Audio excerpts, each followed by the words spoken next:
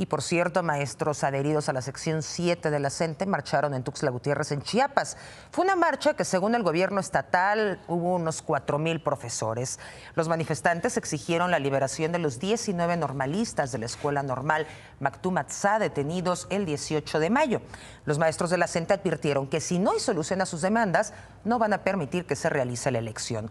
Por lo pronto se quedaron en el plantón en el Parque Central de Tuxtla Gutiérrez. Y en Chilpancingo, en Guerrero, maestros de la CT protestaron en las sedes del Instituto Nacional Electoral y también el Instituto Electoral de Participación Ciudadana.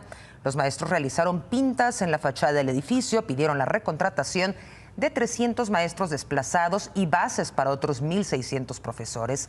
También exigieron la liberación de los normalistas de Mactumatzá.